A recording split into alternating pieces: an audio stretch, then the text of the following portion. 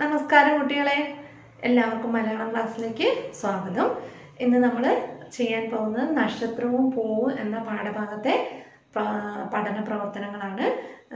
ഒരു ക്ലാസ്സിലും കൂടി നമുക്ക് ചെയ്യാനുള്ള പ്രവർത്തനങ്ങളുണ്ട്. ഒന്ന് ഈണത്തിൽ ചൊല്ലുക പേജ് നമ്പർ അൻപത്തി ആറ് ഈണത്തിൽ ചൊല്ലുക. നക്ഷത്രവും പൂവും എന്ന കവിത ഈണത്തിൽ ചൊല്ലി അവതരിപ്പിക്കുക. നിങ്ങൾ ഒരുപാട് തവണ ഈ കവിത ചൊല്ലിയിട്ടുണ്ടാവും. അപ്പം നിങ്ങൾ വീണ്ടും വീണ്ടും ചൊല്ലുക. അപ്പോൾ നിങ്ങൾക്ക് പുതിയ ഈണം കണ്ടെത്താനാവും. ചൊല്ലി അവതരിപ്പിക്കുക. അതാണ് ഒരുപാടൊക്കെയൊക്കെ നിങ്ങൾ പഠിച്ച കവിതകളൊക്കെ ചൊല്ലി നോക്കുക. അപ്പോൾ നിങ്ങൾക്ക് കൂടുതൽ ഈണത്തിൽ ചൊല്ലാൻ സാധിക്കും. അടുത്തത് ഭൂമിയിലെ കാഴ്ചകൾ. ഭൂമിയിലെ കാഴ്ചകൾ. ഭംഗി കണ്ടെത്താം. നമ്മൾ ഈ ഭൂമിയിൽ വളരെ ഭംഗിയുള്ള വസ്തുക്കളുണ്ട് അല്ലേ? ജീവജാലങ്ങളുണ്ട് അതുപോലെ വസ്തുക്കളുണ്ട്. അത് ഭംഗിയുള്ള കാഴ്ചകൾ എന്തൊക്കെയാണെന്ന് നിങ്ങളോട് കണ്ടുപിടിക്കാൻ പറഞ്ഞിരിക്കുകയാണ്. അതിൽ ഒന്ന് മാത്രമേ തന്നിട്ടുള്ളൂ. മയിൽ. മയിൽ മാത്രമേ തന്നിട്ടുള്ളൂ. നിങ്ങൾക്ക് ബാക്കിയുള്ളതൊക്കെ കണ്ടുപിടിക്കാം. കുറേ എന്ത് വേണമെങ്കിലും എഴുതാം. ഭൂമിയിലുള്ള എല്ലാ എല്ലാ വസ്തുക്കളെ ഭംഗിയുള്ളതൊക്കെ എഴുതാം നിങ്ങൾക്ക് പൂക്കൾ മലകൾ വീടുകൾ മൃഗങ്ങൾ പൂന്തോട്ടം വയൽ പൂമ്പാറ്റ ഭൂമിയിലുള്ള എല്ലാം ഇടാം. നിങ്ങൾക്ക് മരങ്ങൾ ചെടികൾ പുഴ അതുപോലെ അങ്ങനെയുള്ള എല്ലാ ഭംഗിയുള്ള ഇത് നിങ്ങൾ എഴുതിയിട്ട് ഈ പദസൂര്യൻ പൂർത്തിയാക്കുക. ചന്തമുള്ള എന്തൊക്കെ കാഴ്ചകൾ ചുറ്റുപാടിൽ നിന്ന് കണ്ടെത്താം? അതൊക്കെ കണ്ടെത്താം. ഇവയിൽ ഏതെങ്കിലും ഒന്നിന്റെ ഭംഗി വിവരിച്ചുകൊണ്ട് ചെറു വിവരണം തയ്യാറാക്കുക.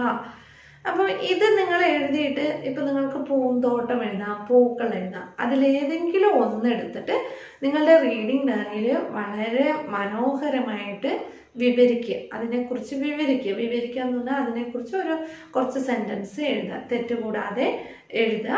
എന്നിട്ട് നിങ്ങളുടെ വീട്ടിൽ ആരെങ്കിലും കൊണ്ട് വായിപ്പിച്ച് നോക്കുക.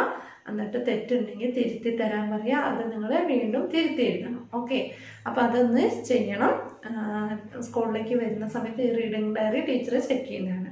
ഇനി അടുത്തത് നിറം കൊടുത്ത് തലക്കെട്ട് നൽകാം. എന്താണ് തലക്കെട്ട്? തലക്കെട്ട് എന്ന് നമ്മൾ കേട്ടിട്ടുണ്ടോ? അതായത് ഒരു കഥയുടെ പേര്. പേര് ഇപ്പം നമ്മൾ ഒരു കഥ വായിക്കുകയാണെങ്കിൽ കഥ വായിക്കുന്നതിന് മുമ്പ് തന്നെ നിങ്ങൾ അതിന്റെ പേര് വായിച്ചിട്ടുണ്ടാവും. അതുപോലെ ഇവിടെ ഒരു ചിത്രം തന്നിട്ടുണ്ട്. വളരെ മനോഹരമായിട്ടുള്ള ഒരു ചിത്രമാണ്. അത് നിങ്ങളാണ് മനോഹരമാക്കേണ്ടത്. നിങ്ങൾക്കതിന് നിറം കൊടുത്തിട്ട് അത് മനോഹരമാക്കുക. അതുപോലെ തന്നെ അതിനൊരു പേര് നൽകാം. ആ പേരാണ് തലക്കെട്ട് എന്ന് ഉദ്ദേശിക്കുന്നത്. അത് എഴുതുക. അത് മറന്നു പോകരുത് നിങ്ങൾ നിറം കൊടുത്താൽ മാത്രം പോരാ. അതിനൊരു തലക്കെട്ടും കൂടി എഴുതുക. അടുത്തത് പദശേഖരം. പദശേഖരം. താഴ്മ. താഴ്മ. താഴ്മയുടെ അർത്ഥം ടീച്ചർ കഴിഞ്ഞ ദിവസം പറഞ്ഞിരുന്നു. എളിമ. താഴ്മ എളിമ. അതിന്റെ അർത്ഥമാണ് എളിമ.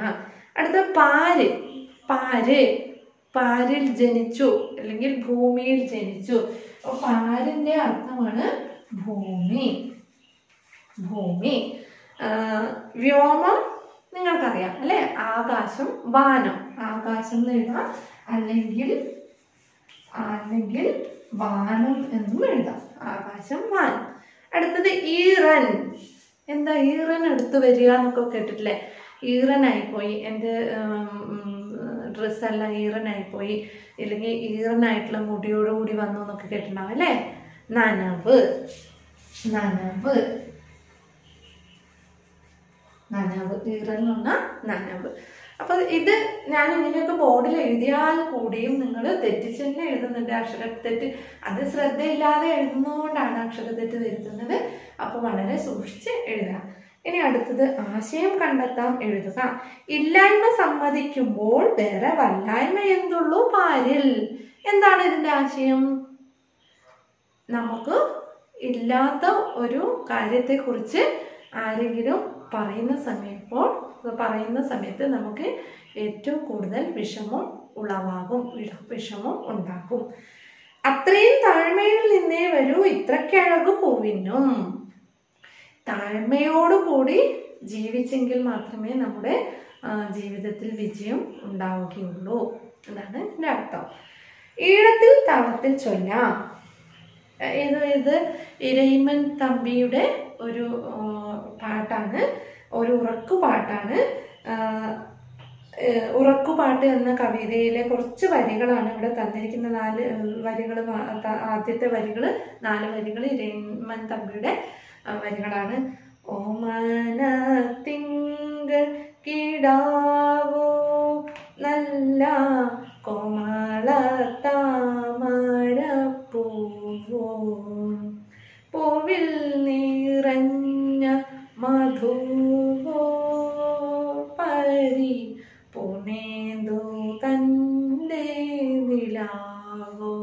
ടീച്ചറൊക്കെ പാടിയ ഉറങ്ങിയിരിക്കുന്ന കുട്ടി എഴുന്നേറ്റ് പോകും. അടുത്തത് ഉള്ളൂർ എസ് പരമേശ്വരയ്യരുടെ അമ്മയും കുഞ്ഞും എന്ന കവിതയിലെ നാല് വരികളാണ്. ഈ കവിത നിങ്ങളുടെ കഴിഞ്ഞ ബാച്ചിൽ അതിന് മുമ്പത്തെ മൂന്നാം ക്ലാസ്സുകാർ പഠിച്ചതാണ്.